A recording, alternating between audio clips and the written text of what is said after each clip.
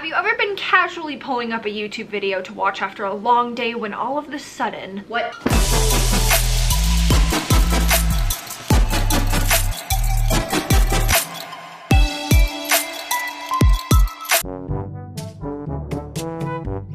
YouTube got me hook, line, and sinker with that commercial that's approximately 87 decibels too loud. Actually, it probably took a solid year of me getting that ad before every single YouTube video before I finally cracked, but welcome back to Hopescope. Oh, I didn't mean to sit on Welcome you. back to Hopescope, your number one source for all things fit fashion hosted by your legging queen and the co-host Leo. Look at this fabric, can you believe it? Lee. This lovely little number and that lovely little ad belong to Carbon 38, which is the boutique of really high-end activewear. 11 out of 10 recommend checking out their 70% off section because they regularly update it. But they do also have their own line, one of their more popular collections being and today I'm trying out specifically the Prismatic collection. We got leggings and a sports bra. The Prismatic collection consists of these dreamy pink and purple iridescent sets. And I'm gonna review it for you and take it to the gym, see how it works or doesn't. The Luminous sports bra. Okay, I'm not normally a fan of these like tube top style sports bras, but this one is actually surprisingly functional and flattering and comfortable. As far as fit goes, this little guy is pretty true to size. It doesn't come with any cup pads, but it is double lined, so you can be assured that nothing's gonna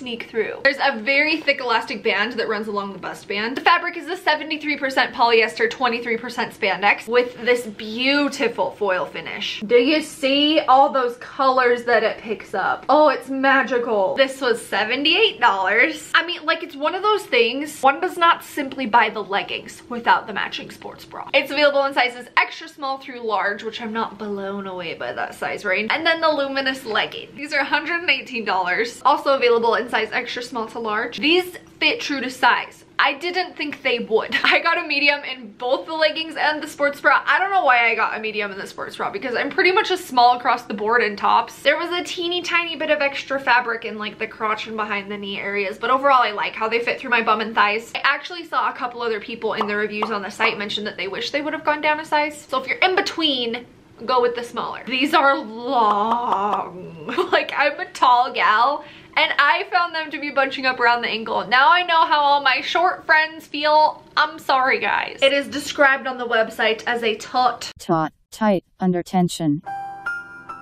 compressing fit, which I agree with. It kind of like sticks to your skin in a good way. It's a lot more lightweight and stretchier than you might think. I was expecting it to feel kind of like leathery and thick, but I didn't get that. It's very high rise and the waistband is double lined. It does have a very thick seam running along the top. I know that some of you don't like that. These are made from the same polyester spandex material that the sports bra is with that foil finish. The inside of the leggings and the sports bra don't have that foil finish though. They're just a regular polyester spandex on the inside. Today is the day that we test the Takara. I'm gonna look like a pretty little fish. Man, this fabric's pretty. I don't even know if the camera can pick it up, but it has like the daintiest little scaly glittery details. What do you think of it? Looking good.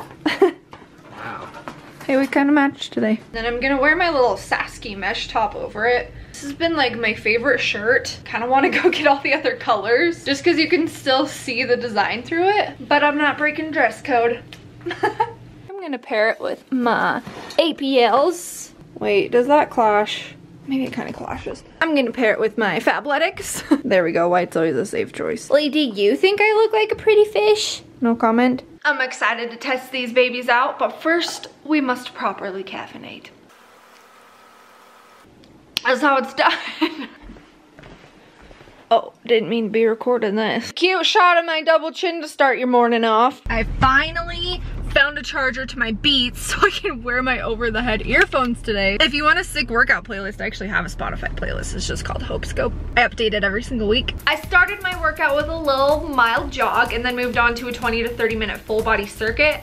I figured this would be the optimum opportunity to try out this set and also that's just my favorite kind of workout. As far as functionality, these leggings are absolutely squat proof. I felt completely sure that nothing was gonna show through through my entire workout even when they were wet with sweat and I honestly can't say that for every legging which is kind of sad. However I will give you the advice that I give with any pair of leggings and that is I recommend wearing no underwear or a neutral color pair of underwear. I usually go for like a nude thong. These are completely sweat proof. I got a good little workout in there and I did not see a single drop of sweat on these leggings, even in this light color. The only thing is they dry really slow.